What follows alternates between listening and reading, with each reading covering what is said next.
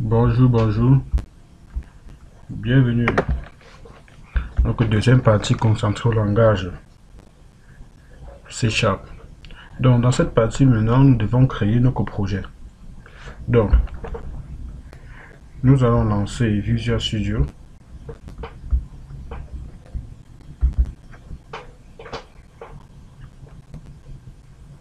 Qui est l'IDE qui va nous permettre de travailler.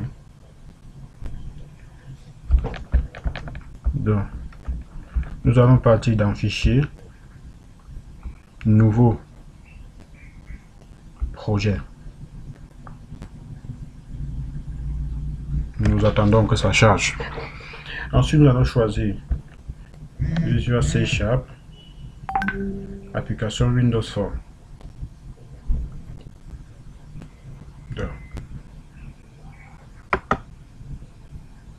Puisque c'est une application Windows Phone qu'on va concevoir. Ensuite, on va mettre le nom de notre projet. Donc, notre projet, on va l'appeler gestion école.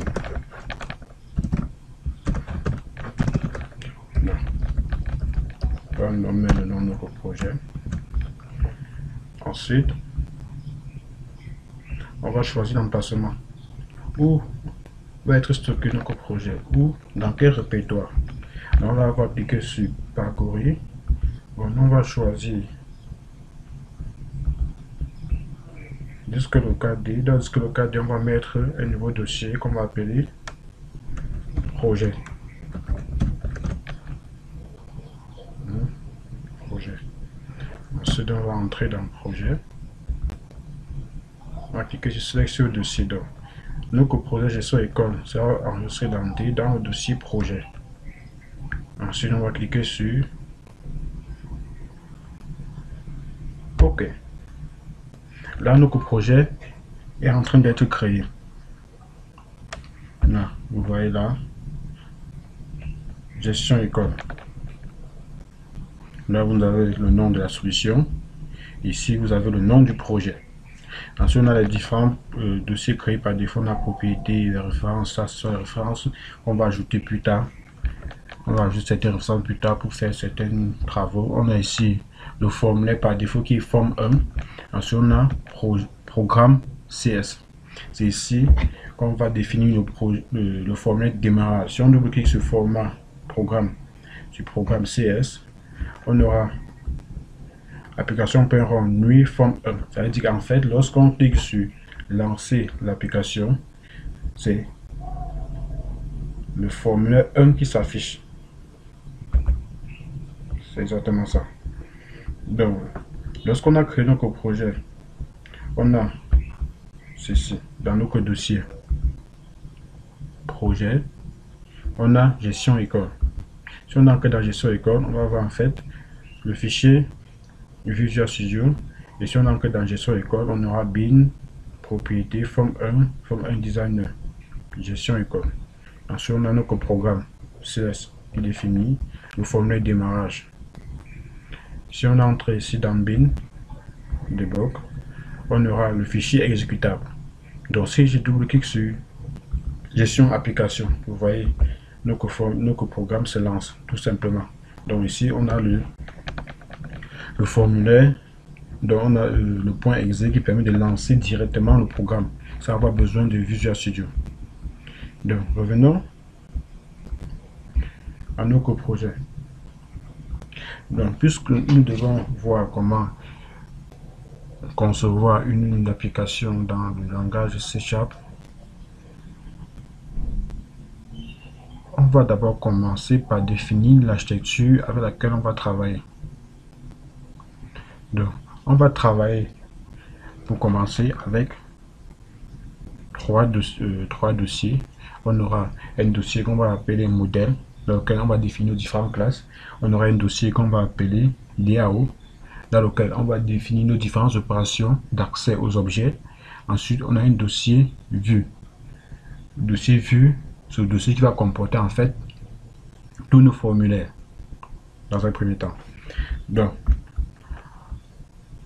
Là, on va faire un clic droit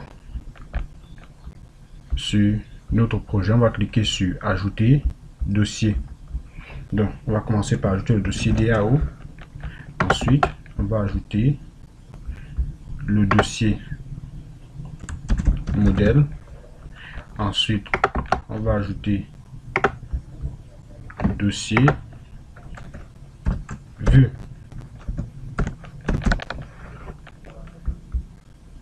Donc, comme je disais tantôt, dans ces différents dossiers, dans le DAO, on va définir différentes opérations d'accès aux objets. Ici, on va définir nos différentes classes. Ici, on va définir nos différentes vues. Donc, pour commencer, puisque nous, dans notre projet, on doit gérer l'enregistrement des étudiants. Donc, on va d'abord commencer créer les différentes classes de notre projet. Puisque nous avons trois tables, dans la table filière, spécialité, étudiant, ça veut dire qu'on aura donc trois classes, la classe filière, la classe spécialité et la classe étudiant. Donc, sur notre dossier, sur notre dossier modèle, on va faire un clic droit, on va cliquer sur ajouter classe.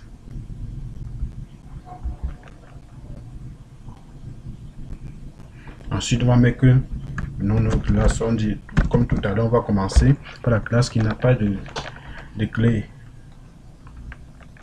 secondaire. Donc, on commence par filière. On clique sur ajouter. Voilà donc notre classe qui est créée. On va dans notre classe ici, public. Puisqu'en fait, on veut que notre classe soit visible dans tout, on va public. Ensuite, on va créer nos différents propriétés. On va mettre private, private int, notre fameux ID. Ensuite, on va créer getter et setter. Get, set, tout simplement. Lorsqu'on met get set, en fait, ça crée en fait la méthode de get et la méthode de set. Ça, c'est une fonctionnalité liée à C Sharp. On a ensuite private, private string, notre fameux libellé get set. Tout simplement, là on a créé notre classe filière avec les guideurs et les setters.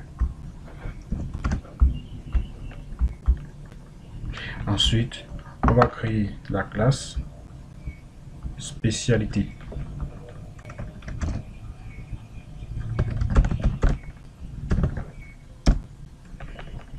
Pareil avec la spécialité, on va mettre public. On va dire private int id get set Ensuite, on avait le code private varchar. de varchar, bon, en C on va dire string. Private string code get set. Ensuite, on a private. Après on avait le, libellé, private qui était aussi string, private string, libellé code. Get set. Ensuite on a le après le libellé on a la clé fameuse clé dictionnaire filière comment donc on va le représenter à ces on va tout, simplement dire private. Le type sera dans le nom de notre classe. Filière filière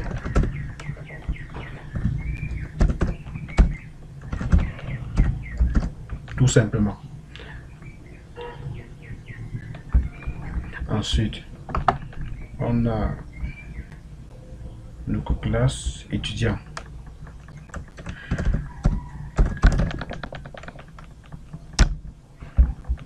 Oui, on va aussi mettre public.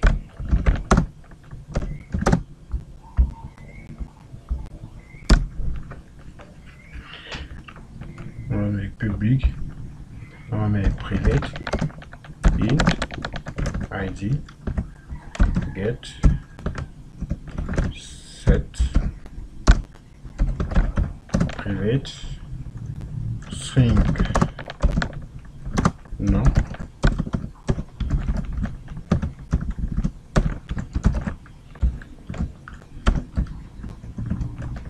get set ensuite on a private.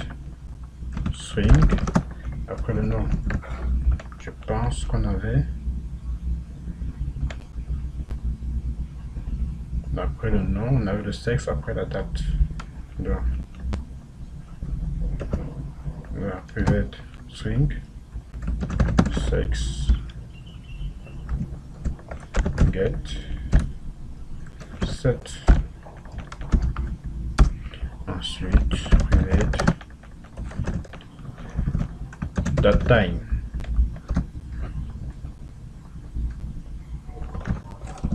Date time date date naissance. Get set. Ensuite on a private lieu naissance euh, lieu naissance. Get set après on a pense téléphone. Private on a dit on devait mettre un string. Private string téléphone. Get set. Ensuite on a notre clé secondaire qui dit de la spécialité. On va private. Spécialité. Spécialité.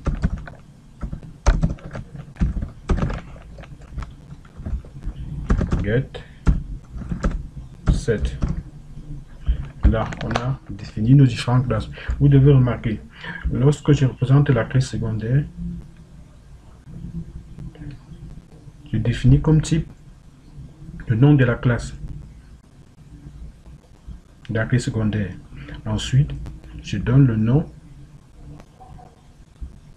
toujours le même nom nom de la classe a une différence que ici j'ai un grand S et un petit s. Donc ça ne dérange pas si vous pouvez mettre autre chose à ce niveau-ci. Mais en mettant spécialité, ça nous permet de comprendre directement que c'est notre clé secondaire. Et on verra plus tard comment utiliser. Bon, là on a créé nos différents modèles. Maintenant, avant de continuer, on doit d'abord créer dans notre dossier DAO la classe BDD qui va nous permettre de se connecter à nos bases données. Pour cela, j'ai choisi dans ce cours, on va utiliser la méthode ODBC.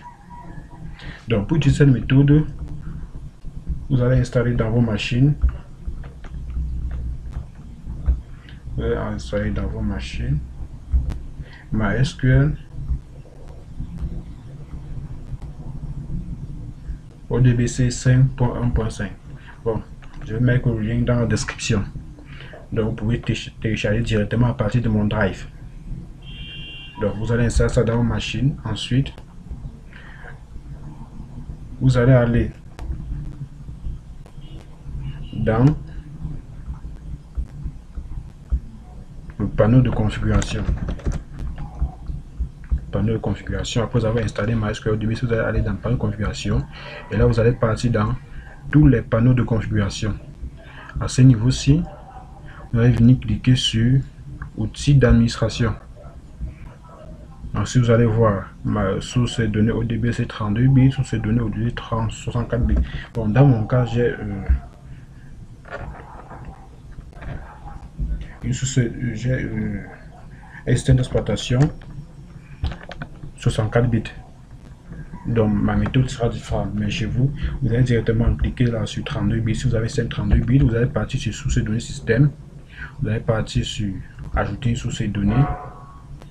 Vous allez voir ici MySQL ODB c'est 5.1 et directement à ce niveau vous allez ajouter votre source de données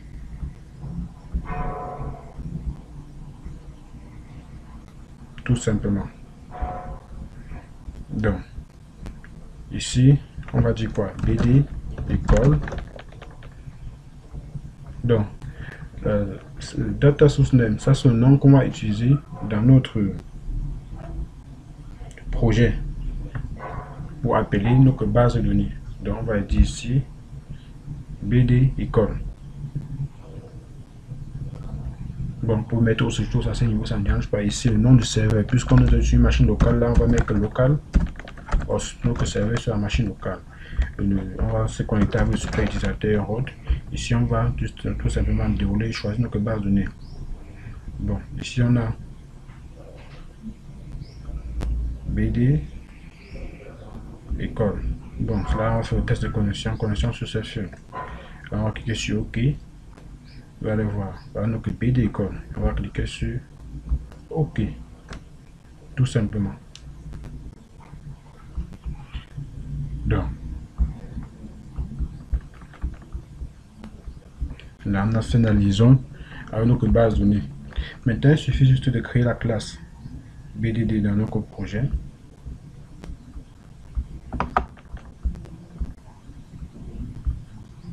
On va appeler cette classe la classe BDD.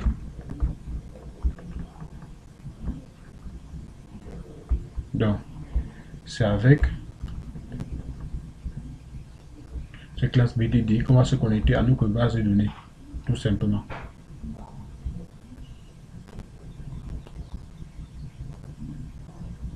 Donc, là on va cliquer sur ajouter dans notre fameuse classe BDD. Pour tout à l'heure, on va mettre d'abord public.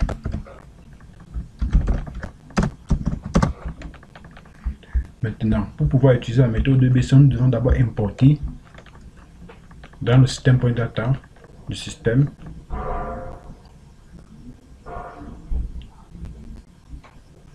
les différentes fonctionnalités de l'UDBC.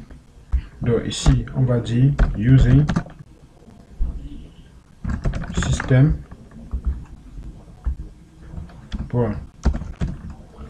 data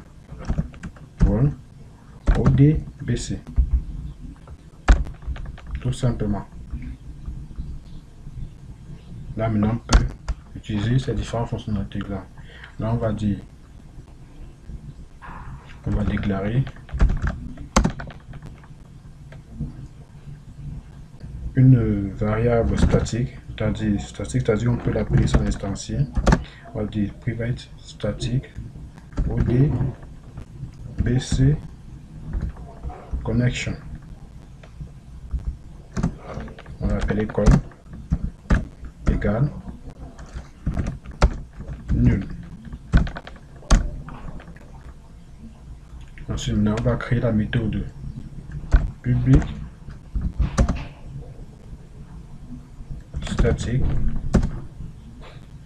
la méthode. Statique méthode qui va retourner une connexion. Statique ODBC ou DBC connection on dit la get connection ODBC get connection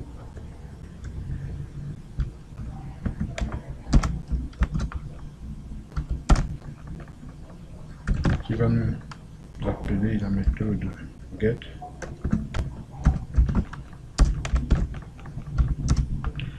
Bon, Là, on va faire d'abord une vérification. If.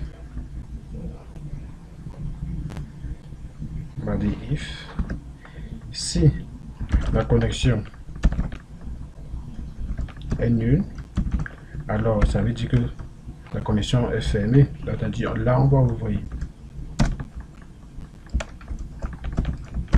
La connexion est fermée. Là, nous, on va ouvrir. Là, on va dire con égale new MySQL connection. Là, on va appeler donc data source name égale BD école. Le data source name qu'on a mis lorsqu'on faisait disons au DBC dans l'outil d'administration. Virgule. La con point open. Point virgule. Bon, ici ça souligne parce que on n'a pas encore retourné la connexion. Donc, si euh, la connexion est nulle, alors ça veut dire que la connexion est vieille. On n'a pas fait de connexion. Là, on va se connecter. Tout simplement. Et si c'est là ouvert, on ne fait plus rien. On l'utilise. Donc, on va mettre le retourne. Voilà. Tout simplement. Vous avez vu. Ça se plus. Parce qu'en fait, on a retourné la connexion. Tout simplement. Donc, voilà dans la méthode qu'on va utiliser dans notre projet pour avoir accès à notre base de données. Donc, comme j'ai dit tout à l'heure, je vais mettre MySQL simple 5.1 dans la description. Donc, à bientôt pour la suite.